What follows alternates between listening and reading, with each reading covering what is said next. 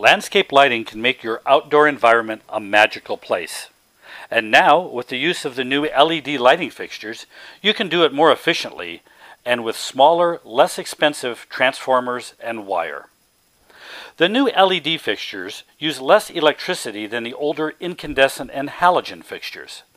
In addition, because of the smaller wattages required, you can use much smaller and less expensive landscape wire.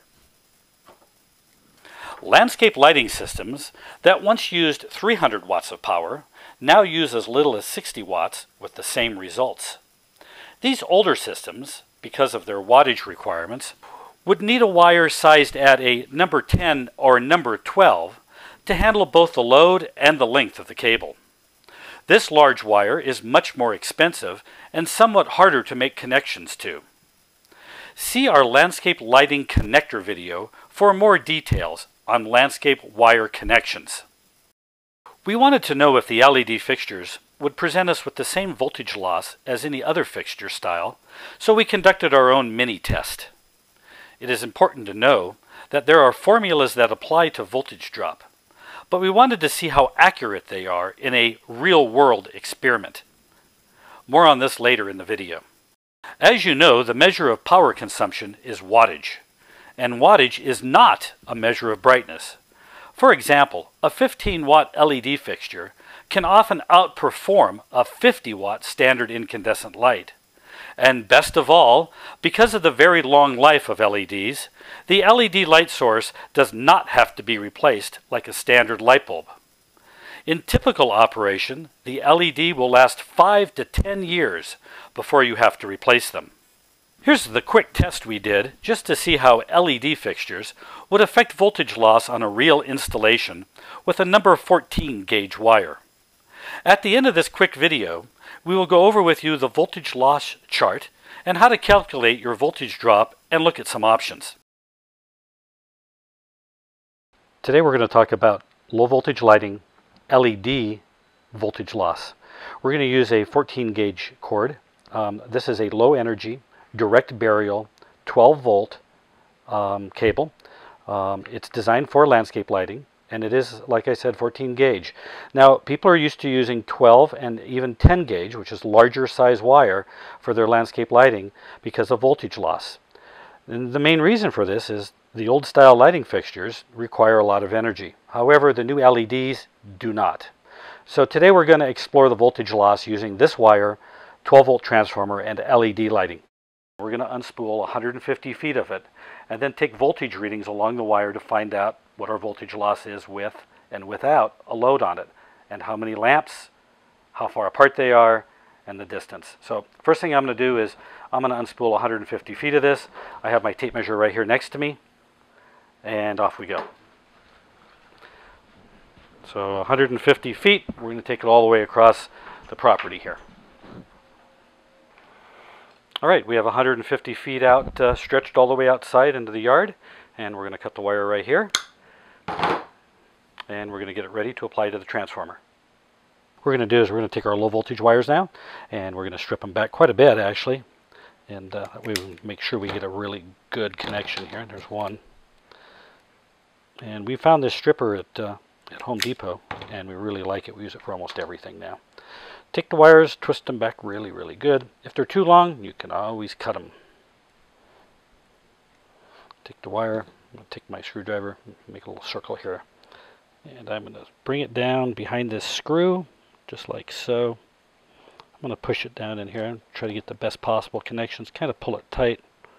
Then we're going to screw it down. Then we're going to jump to the other one and do exactly the same thing. We got the wires connected to the transformer. Uh, they're nice and tight. We've checked the screws. We want to make sure that these are tight. We don't want any loose wire here. Uh, if the wire's loose and it produces heat, it'll start arcing in here, it'll get worse, and it could melt your terminal bus. Make sure that doesn't happen. So, transformer's ready to turn on? No. I went and got the other end of the wire because I wanted to make sure that at the other end of the wire that it's not dead shorted. That means the copper is not touching. So I'm actually going to take this wire, I'm going to cut just a little bit here. Okay, I'm going to separate these out just a little bit.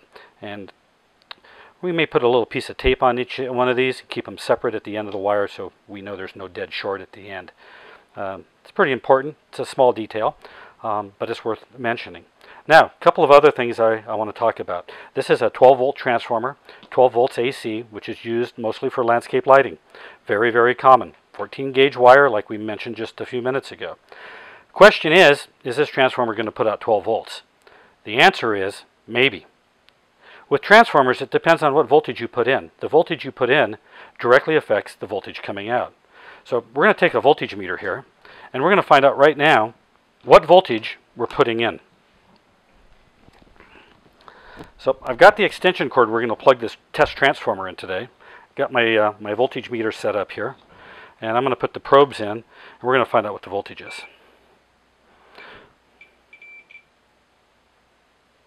All right, today's voltage at this particular time of the day with the air conditioners running in this building, we're at 114.7 volts. Your voltage will change throughout the day. The more load there is on the system, the lower the voltage goes. If you did this measurement maybe in the middle of the night, when nobody has anything on, no washing machines, not many air conditioners, uh, no kitchen ovens, you might find that your voltage is 120. So again, voltage into a transformer will definitely affect voltage out. So we're going to find out now what our voltage out of this transformer is. We're going to take the uh, transformer, we're going to plug it in, I'm going to flip it over here, make sure it's on. It's always a good thing. Okay, so I know now the transformer is on. I know that we've applied power to it. And now I'm going to take my voltage meter here on the output of the transformer and we're going to find out what we really have. So we have a baseline to start from. All right, this transformer is now putting out 11.71 volts. Not 12 volts, 11.71. Again, voltage in affects voltage out. So a quick review. We have the transformer. Transformer is plugged in. We know what our voltage is there. We're going to hit this one more time. We're finding the output of the transformer is 11.72. Now, a few minutes ago, we ran 150 feet of wire off this transformer. Here's the wire right here going out. And we brought the other end of the transformer here into the shop, and this is live right now. Um, and curiosity is, what's the voltage 150 feet away from the transformer, following the wire all the way around 150 feet, what is the voltage here? So I'm going to strip this out, and I strongly recommend that, even though you don't really have to, but I strongly recommend that we unplug first, don't cut anything with the power on. We had a customer do that, do that the other day. He shorted out his entire system and blew up all of his LED lights. So I'm going to strip off this wire here. This is the end of the wire, 150 feet away from the transformer. I'm going to plug the transformer back in because I want to find out on a 14 gauge wire, 150 feet away, what kind of voltage do we really have. And we have 11.72 volts at 150 feet away. And you're asking yourself, wow, that's pretty good. So back at the transformer, exactly the same. So 150 feet of wire, 14 gauge, running across your yard with no light fixtures on it, we're not losing any voltage at all. This is important because as we add light fixtures, we're going to check our voltage, see where we're really at. All right, for the test, we went out on our wire that's just laying out here in the grass, and we went 75 feet out from the transformer, halfway, and we're going to connect this LED 7 watt light right here, and we're going to go back inside and get a voltage reading and see if we have um, much uh, loss. We're going to get that reading both at the transformer and at the end of the wire. Because every time you add a light fixture, you're going to change the parameters and change the voltage on the wire. There it goes. Lights on. You can see even here in daytime that a 7 watt LED is a very bright light source. One thing nice about the Malibu LEDs is the LEDs aren't the white white, they're actually more balanced and more natural looking and closer to the light output of a halogen bulb. The quick connectors make it very simple and very easy to attach your light fixture to your main power. So let's run back inside real quick and see if we have any voltage loss. As you remember, we put on one LED fixture at 7 watts, and now we're going to get our voltage meter, and we're going to see what our voltage loss was. So, going back to our standard, uh, the uh, transformer is still 11.7 volts. Now we're going to go to the end of the wire, which we brought over here onto the table, so we can get a voltage meter out, out there at the very end at 150 feet.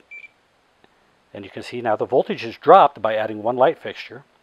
It's now dropped to 11.49 volts. Still very, very acceptable. So what we're going to do next is we're going to add two more light fixtures. And we're going to come back and see what our voltage drop is, and maybe take some voltage readings along the wire and see what they are. So far, very acceptable parameters.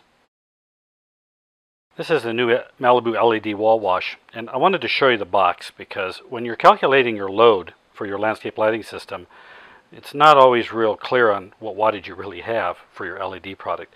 This one says it's equivalent to a 35 watt halogen wall wash, 35 watts. So the wattage of this fixture is not 35 watts, it's equivalent.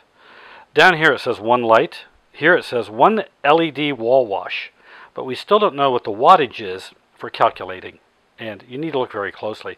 This particular box, if you turn it around to the back, it actually says here in very large type that it is a 13 watt power consumed LED light fixture at 415 lumens. This is a bright light. So this is good to know when calculating. This is a question you'll always be asked is what's the total wattage on your landscape lighting plan?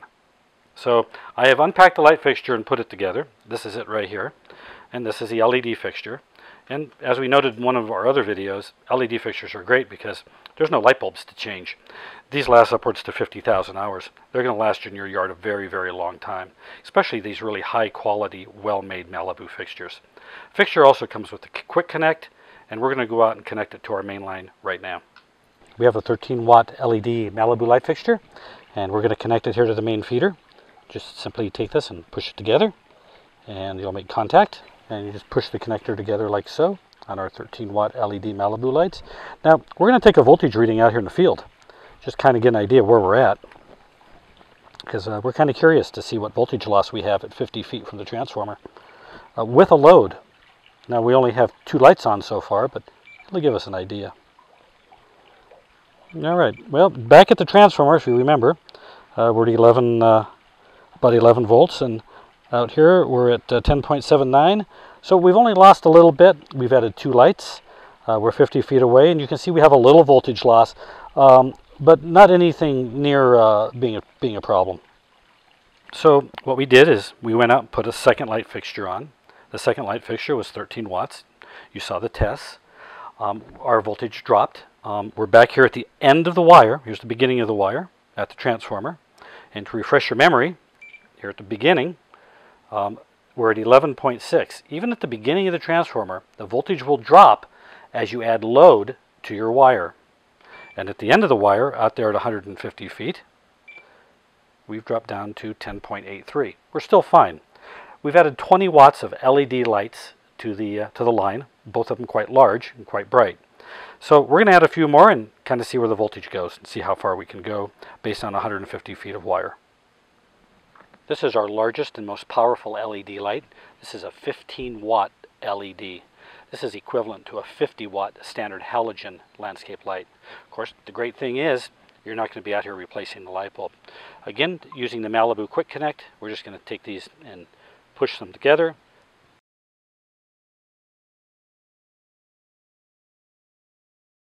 So we've added another light fixture to the line. This is about 100 feet away from our transformer. Our total wire length is 150 feet. And out here in the field, we're going to measure the voltage and see how much loss we have. See if it's in the acceptable realm. Most likely it is. So we're only at uh, 10.8. We're still in the acceptable range. Um, and we're going to go back uh, to our workbench and see what the voltage is at the very end of the line.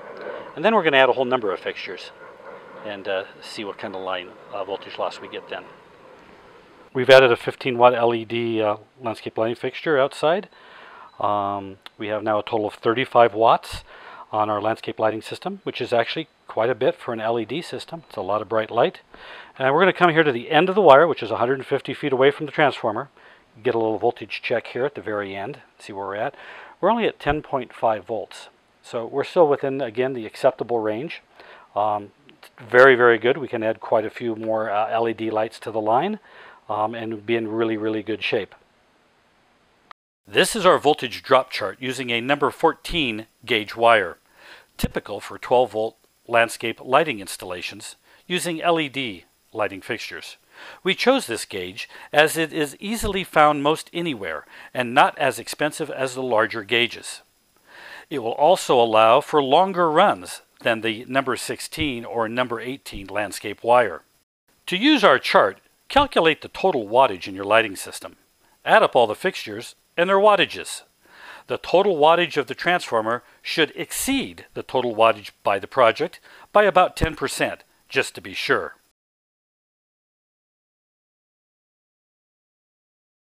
Then calculate the total wattage per wire run. Once you have this total, check the voltage drop chart or voltage drop calculator on our website and find the distance and length of your run. As an example, we have chosen the total wattage of 60 watts at a distance of 75 feet. You can see by the chart and the voltage drop calculator that the expected total voltage drop is only 10.71 well above the number required to operate the system. Voltages below 8 are not recommended as the LED light fixtures will flicker or they may not light at all. If you're using a multi-tap transformer, always make sure that the first light fixture on any run does not exceed 12.5 volts.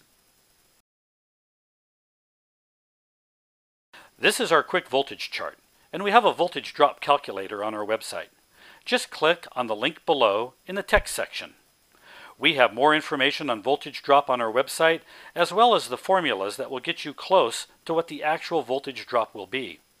Our little field lab experiment test finds that the formulas are close to accurate. However, a voltage meter in the field is always the best way to go. At Total Lighting Supply, we understand the importance of your time. Not everyone can be a lighting expert. We're not just about selling you light bulbs, light fixtures, and light components. We're also about helping you achieve amazing and successful lighting results in your space. We hope that our video series will assist you in achieving your lighting goals.